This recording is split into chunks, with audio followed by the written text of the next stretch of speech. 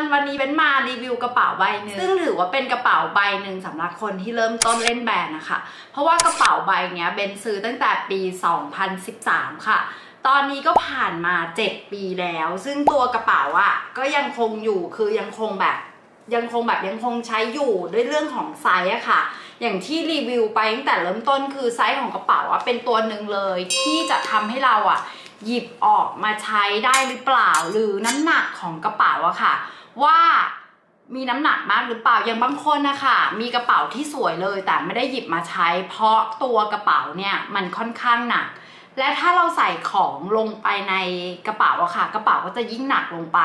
ดังนั้นเนี่ยกระเป๋า Balenciaga รุ่นนี้ค่ะ ไม่ว่าจะเป็นตัวไซส์มินิหรือไซส์ต่างๆอะเนาะมีหลายๆไซส์เบนว่าแต่ก่อนอะมันทำด้วยหมุดหมุดอะค่ะ ตรงเนี้ยที่เป็นแบบอันใหญ่อันนั้นนะแม่งโคตรหนัก คือพอหลังจากที่เขาว่าเลิกผลิตหมุดแบบนั้น คือไซส์ของหมุดเนี่ยมันเปลี่ยนแปลงไปแล้ว คือกระเป๋าเนี่ยก็เลยมีน้ำหนักที่เบาลง และก็ใช้งานง่ายขึ้น และแต่ก่อนอะไซส์มันเยอะมากที่เป็นทรงใหญ่ๆอะค่ะ เดี๋ยวนี้คนอะมาหิ้วแบบไซส์เล็ก คือเขาก็ผลิตมาเหมือนกันเนาะ ก็ผ่านมาประมาณ 7-8 ปีแล้ว อันนี้เบนคิดว่ามันเป็นใบเริ่มต้นเลยที่ Balenciaga เริ่มผลิตไซส์ที่เป็นแบบเล็กลงแล้วก็ตัวหมุด ตัวใบเนี้ยสีสันเนี่ยก็จะสวยงามเนาะตัวนี้จะเป็นเอกลักษณ์แบบเหมือนเดิมที่รุ่นแรกๆค่ะ ที่เขาผลิต แต่ว่าเป็นการย่อส่วนมา เพราะแต่ก่อนมันจะเป็นรุ่น City ใช่ปะแล้วก็มีรุ่น City แล้วก็รุ่นใหญ่ขึ้นไม่รู้ว่าเรียกว่าอะไรแล้วลืม อันนี้มันก็เป็นทรงที่เล็กลงมาเนาะซึ่งไซส์แบบกำลังดีมากแล้วก็ถ้ามองจากตรงนี้ก็คือเหมือนรุ่นเดิมอะค่ะ รุ่นเดิมเนาะที่เป็นหมุดใหญ่อันนี้ แล้วก็ย่อใส่ลงมาดูสิ อันนี้กระเป๋าก็ผ่านมาเจ็ดปีแล้ว นี่ค่ะ เห็นไหมก็ถามว่าข้อดีของอันนี้ที่ยังหยิบมาใช้ได้ง่าย ๆ ก็คือตัวสายอะค่ะ ของตัวกระเป๋าเนี่ยมันสามารถปรับได้สามอัน แล้วเวลามันมาอยู่แบบ กับคนที่ความสูงอย่างเราเนี่ยมันเลยทำให้ตัวกระเป๋าอะค่ะ มันดูไม่ไม่ใหญ่จนเกินไปอะคือเป็นไซส์ที่กำลังดีมาก แล้วรู้สึกว่ามันออกไซส์ใหม่แล้วค่ะ ซึ่งใหญ่กว่านี้ใบหนึ่งแต่อยู่ระหว่าง small กับใบเนี้ย คือพอมาหิ้วใบเนี้ยคือมันอยู่พอดี แล้วเนี้ยมันก็จะมีกระจกเนาะที่ฮิตอย่างเงี้ย ให้ให้แบบเหมือนแบบสองอะไรเงี้ย แล้วถ้าใครซื้อเนี่ยมันก็จะมีแบบการ์ดบอกอันนี้มันแบบบอกสี คือบอกสีบอกปีบอกรุ่นอะไรเงี้ยค่ะ อยู่ตรงเนี้ยเนาะแต่กระเป๋าว่าตัวหนังอะมันเป็น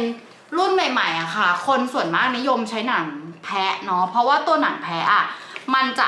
มันจะไม่แบบเยินนะแต่จริงๆ เป็นใช้กระเป๋ารุ่นเนี้ยก็คือไม่ไม่เยินนาอยู่นะของหนังวัว แล้วความยับของมันอะคือมันต้องเป็นแบบเนี้ยคือกระเป๋าที่มันต้องแบบหน้าตามยับยับแบบเนี้ยถ้ามันไม่ยับเนี่ยมันไม่ใช่บาเลนเซกาอะไรเงี้ยเป็นว่ากระเป๋ามันก็คือดูทรงแบบ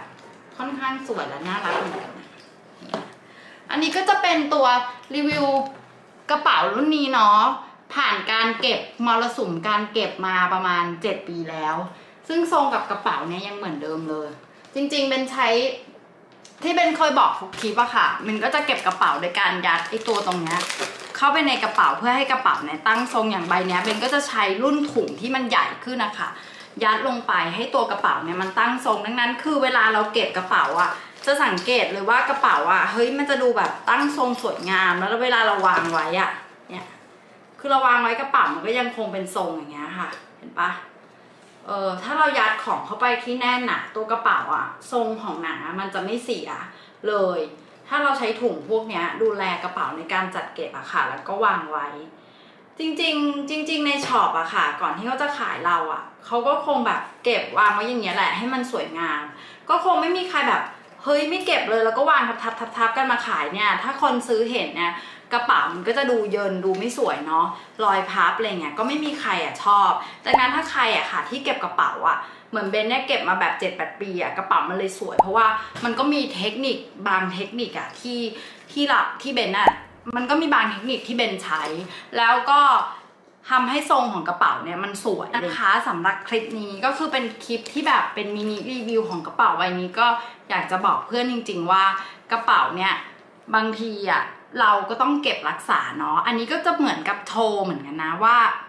เราอะเก็บรักษากระเป๋าแบบไหนกระเป๋ามันก็เลยยังดูแบบเป็นทรงที่สวยงามอยู่เหมือนกันนะคะอันนี้ก็กระเป๋าก็ผ่านไปเจ็ดปีแล้วดูดิยังสวยงามเหมือนเดิมเลย